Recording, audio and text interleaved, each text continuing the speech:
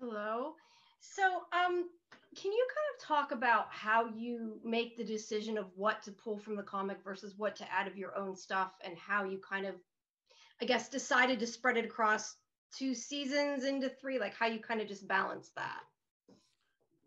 I mean, I, it's not a super didactic process. It's a much more intuitive one. Meredith and I obviously have read the comics multiple times and have digested this rich and wonderful world that Joe and Gabriel have created.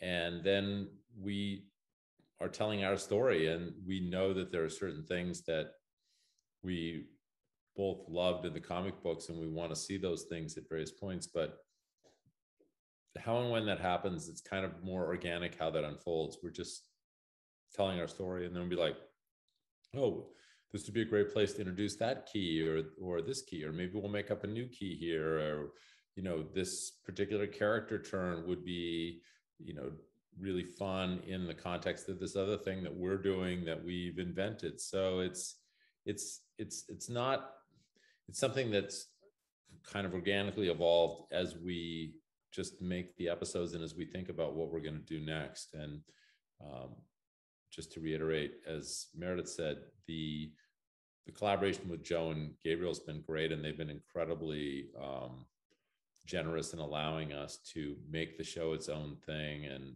have you know collaborated and participated with us in this new iteration of that story. If someone were to use the head key on both of you, what would the inside of your mind look like the way the memories were stored and everything? What, what would we find? Oh, gosh, I don't know. I mean, I I feel like if you're a writer, your you know your your brain is um, uh, my, my favorite quote is David Milch used to say, "My brain is a dangerous playground." Uh, and I I don't know I I wouldn't really want to use the head key on myself. I'm not I'm not really kind of at that particular point of like self uh, reflection right now. Uh, I I think it would be I'm I'm I'm good staying locked out. I think I think mine would look like an Anthropologie that's been designed by Tim Burton.